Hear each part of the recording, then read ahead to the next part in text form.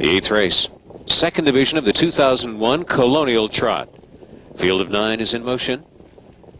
And they're off and trotting. Annie's SJ had a good start along the inside. Moving out with him fast. Partnership problem is looking for the front. Keystone Holiday drives on. And emerging on the far outside is Banker Hall.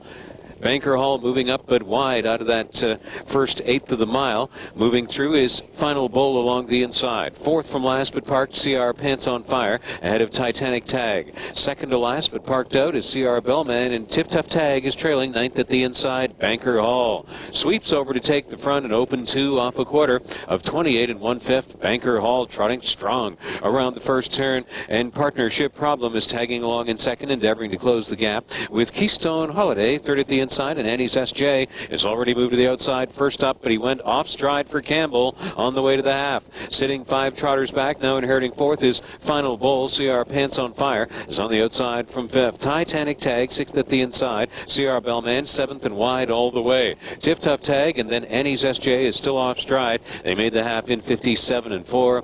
Banker Hall and Trevor Ritchie coddling his speed well onto the final turn. Partnership problem tags along in second. Keystone Holiday, two more lengths to the inside third. Final Bull has trotted an inside trip from fourth. CR Bellman wide all the way is now fifth. CR Pants on Fire. Sixth on the inside. Tiff Tag is up to seventh. No move yet for Titanic Tag from eighth. And Annie's SJ is out of it from ninth. And Banker Hall, it's his to win or lose. He's on top by five. And Ritchie's looking to cut him loose down the lane. He wheels off the turn to a lead of five. 127 and 1, 29 and 2, third quarter. And Banker Hall Hall, causing Ritchie to look over his left shoulder, look over his right shoulder, and he's seeing a five-length advantage in deep stretch to win impressively in the second division 2001 Colonial Trot.